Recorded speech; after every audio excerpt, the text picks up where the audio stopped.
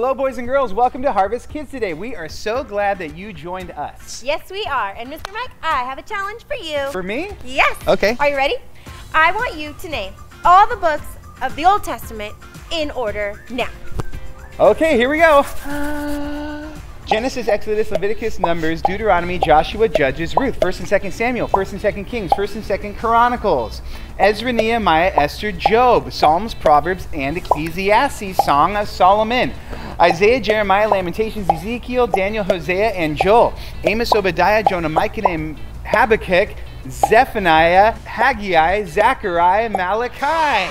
Whoa, for one second I thought maybe you were going to lose it there, but good job. I know, I learned those books when I was in kindergarten and I still remember them. Oh, that's really cool. Well, we are going to learn all about in our story today how Ezra read God's word to the people and it changed their hearts. Oh. So we're going to learn all about that today as we read our Bible story. of Okay. course, But also as we play games. Yes. Make a delicious snack Oh. and do oh. some worship, which starts right now. Yeah. So everybody stand up to your feet and let's get ready to praise God now.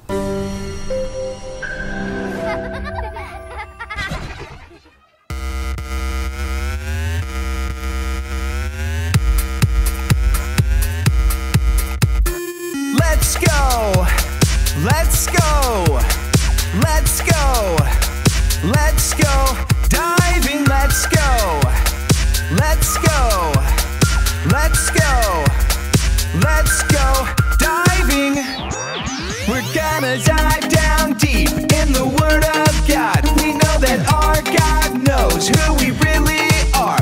Jesus knows my worth no matter what I've done. Jesus has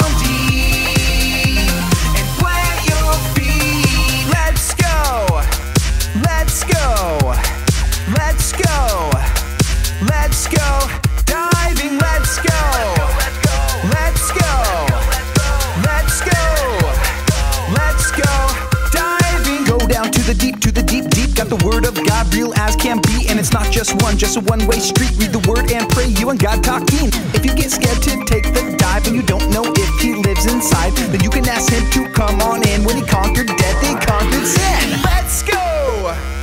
Let's go. Let's go. Let's go. Diving. Let's go.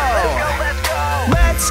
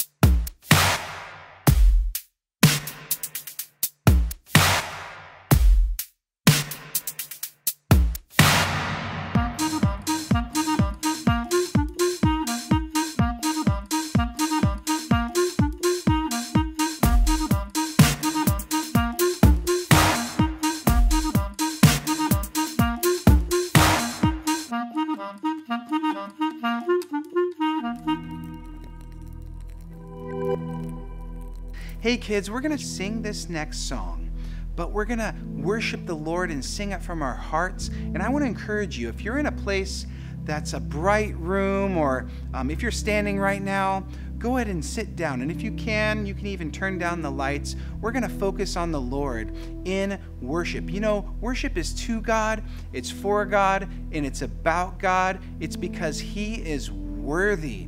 And it's not just singing, there's a lot of different ways we can worship the Lord. But in this worship moment, we're going to sing a chorus to this song called Glory to God Forever. So sing along. Let's focus on the Lord and sing from your hearts. The words say, Glory to God, glory to God forever.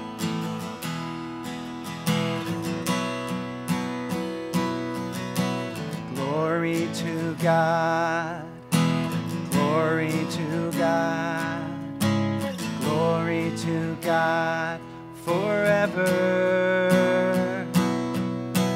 Glory to God, glory to God, glory to God forever. Sing it again. Glory to God. Glory to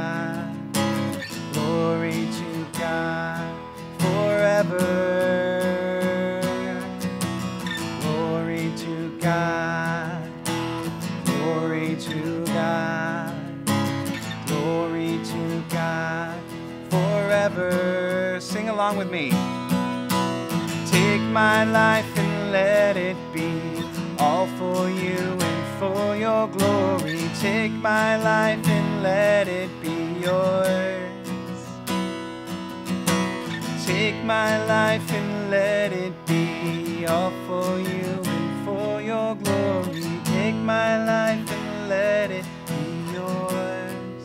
One more time. Glory to God. Glory to God. Glory to God forever.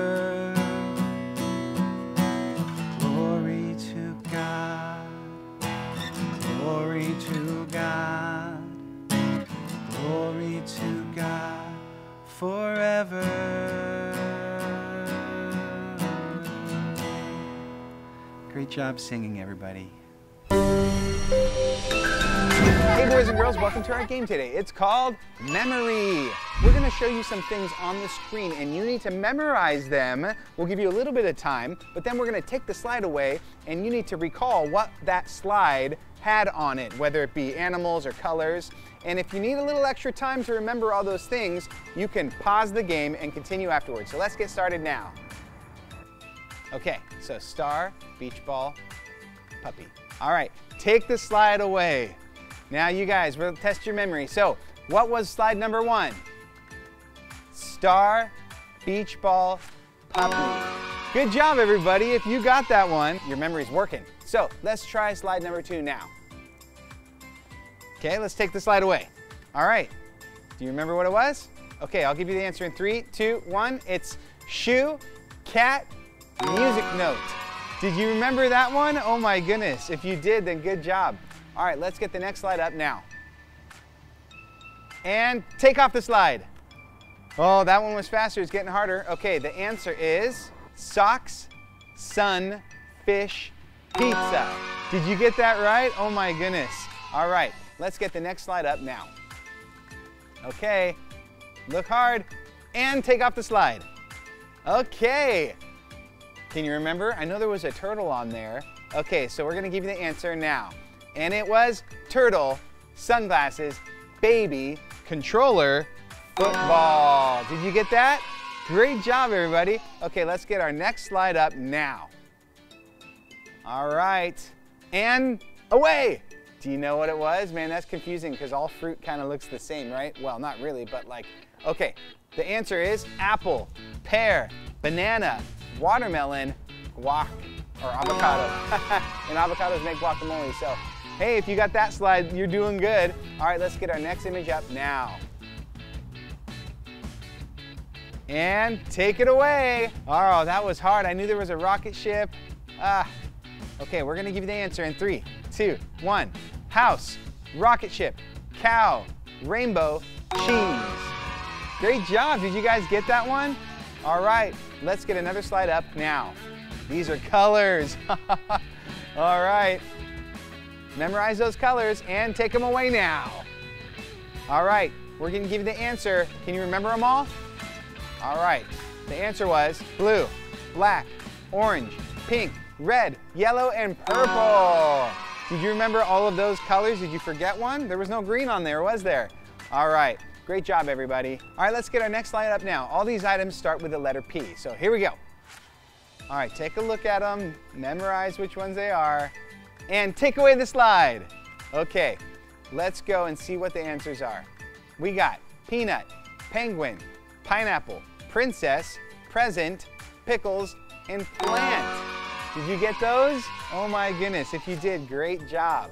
Okay, let's get our next image up now. All right, another color one. All right, these are crayons. Okay, and take it away. All right, we'll give you the answer. It was yellow, red, green, blue, and purple. Great job. Okay, last slide. Let's put it up on the screen now. Ooh, we're throwing a curveball at you. These are letters. All right, let's see if you can see the hidden word for today's game in this slide. And take the slide away. All right, what letters are up there? Was there an M for Mr. Mike? No, there wasn't. We're gonna give you the answer now. It's S, O, D, W, and R. The hidden word, we're gonna give the answer, W, O, R, D, S. And what's that spell? Words, which is our word for today. All right, well, thanks for playing our game today called Memory. We'll see you next time for another fun game. Bye-bye. Hi guys, my name is Jackie and today I'm going to be unboxing the Bible. Now, if you're not sure what unboxing means, it's like when you get something new and you open it up to see everything that's inside, but this is even better because we are opening up God's Word. Let's find out what our word is for today. W O R D S. Words. Our word for today that's funny. Our word for today comes from our memory verse, which is Psalm 119, 130, and it says, The unfolding of your word gives light. It imparts understanding to the simple. Would you guys say that again with me? Ready? Psalm 119, verse 130, and it says, The unfolding of your word gives light. It imparts understanding to the simple.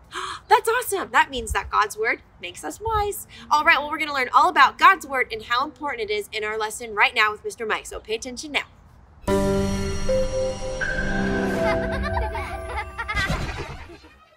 Hey, boys and girls, it's Mr. Mike here. How are you doing today? We are going to do a little bit of a Bible study in the book of Ezra. Can you say Ezra? Good job.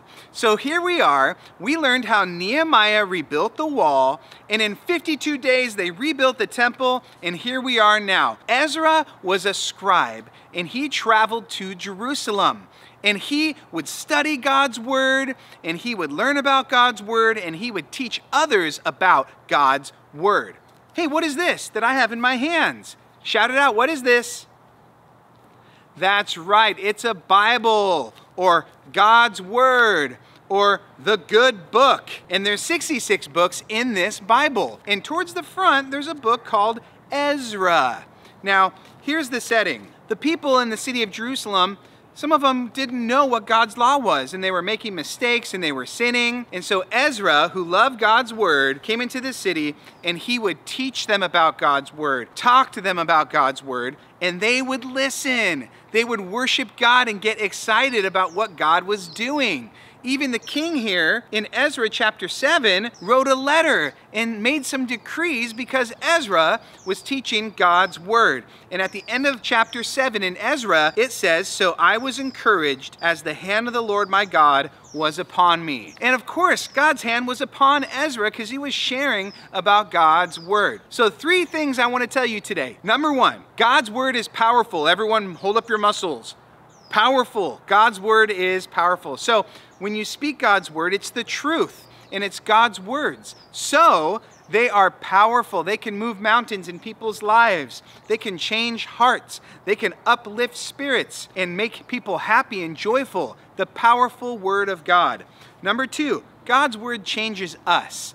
If we're living not like we're supposed to, we're making mistakes and we don't care, we have bad attitudes, well, God's Word can change us. It can tell us what's right and wrong and how to live. And so God's Word is powerful, God's Word changes us, and number three, God's Word encourages us. Have you ever felt like, why was I born? Or what's up with this world? Well, the Bible can encourage us and tell us to not give up, to keep going, that God is always with us. And you know what? If we love and follow God's word, these three things can be possible in our lives. We can be powerful. I'm not talking about having superpowers here. I'm talking about God can be powerful through us if we let Him. And also, we can be changed from God's word. I know that we all know someone who's stubborn and like, no, I'm not gonna do that because I don't wanna do that. Well, God's Word has the power to change us, but we have to read it. We have to learn about God's Word, and it can change us, and we can share it and help others change as well. And number three, we can encourage others. We can encourage others. When we get to know God's Word and we use it in our lives and share it with others, we can encourage those that we're around. Do you know anyone who's sad right now? Maybe they're sad. Maybe they're dog died. Oh, that is so sad. Well, we can encourage them with God's word and say, you know what? Jesus loves you and he died for you. So the Bible is really important. It's not just a book full of stories, it's really important in our everyday lives, and it's a really important tool that we can use to share with others. And that's what Ezra was doing. He was teaching others about God's laws. So let's pray together and we can thank God for His word to us today. Dear Jesus, we thank you so much for this Bible story. We know that Ezra was a man who loved to study God's word and teach others. And that's what we should do as well, Lord. We don't want to always be complaining and always have a bad attitude, but we want to teach others and encourage others with God's word and teach them how Jesus loves them. So thank you for your word to us today. In Jesus' name, amen. Amen, everybody. Thanks for joining me today. We'll see you next time. Bye bye.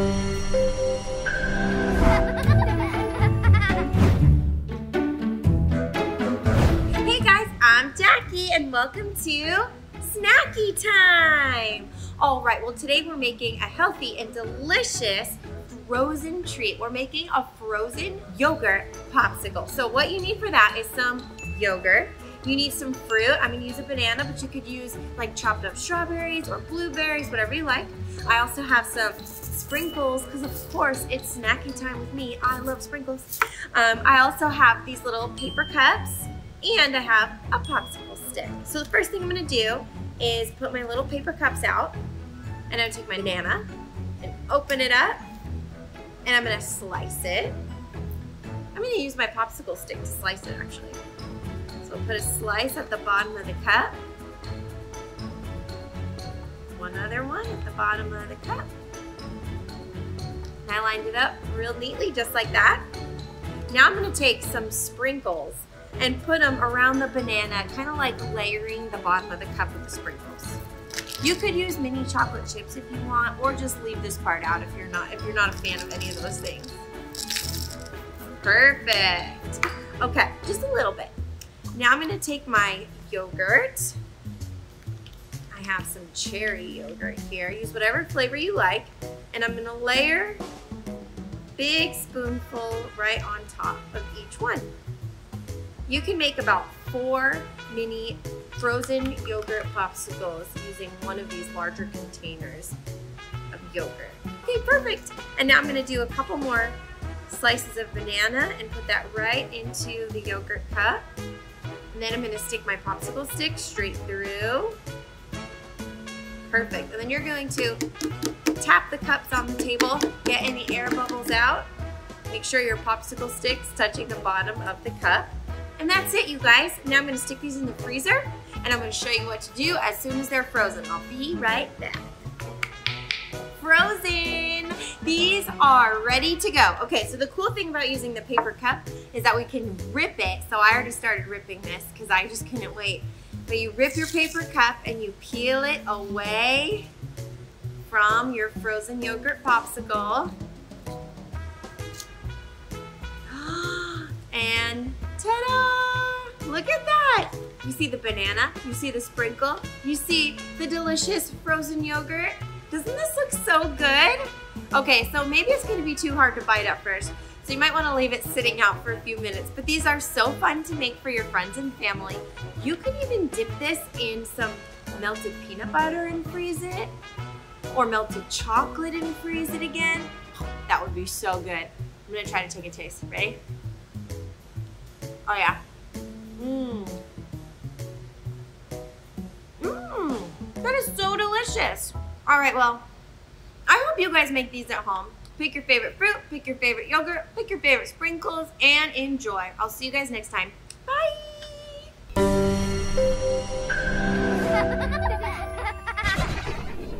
Well, thanks for joining us today. We had a great time learning about how important God's Word really is. Mm-hmm. And we learned that if we ever find ourselves going against God's Word or disobeying God, mm-hmm. then we need to get back in line because God's Word is true and it guides us and it has power in our lives. And it is oh so important. Yeah, that's right. You know, it's so important, Jackie, that I know I was tested to share the Old Testament. I want to ask if you can share the New Testament books of the Bible so we can test you today. Okay, okay, I'll give it a try. I'll All give it a right. try. All right. Okay, ready? Yes. set, go. Matthew, Mark, Luke, John, Acts, Romans, 1 Corinthians, 2 Corinthians, Galatians, Ephesians, Philippians, Colossians, 1 Thessalonians, 2 Thessalonians, 1 Timothy, 2 Timothy, Titus, Hebrews, James, 1 Peter, 2 Peter, 1 John, 2 John, 3 John, Jude, and Revelation. Yes! You missed one book. Which one? Ah, kids, do you know which one it was? Philemon. I know, that's hard to do, but great job. I'm sure that she'd get it perfect if we did it again. But that's all the time we have for you today. Hey, if you learn the books of the Bible, all 66 of them, maybe you can tag us and post it on Instagram and we could check it out and we would love to see what you're learning at home. That's a really good idea. Yeah. I want to hear you guys repeat the books of the Bible. That's a good idea. So find us on YouTube and Instagram at Harvest Kids Live, and we can't wait to see you next time. That's all for now. Bye bye. Bye. Love ya.